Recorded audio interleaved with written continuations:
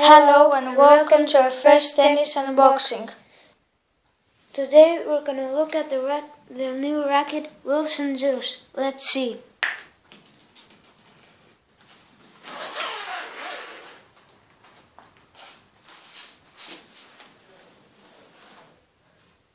It's very nice.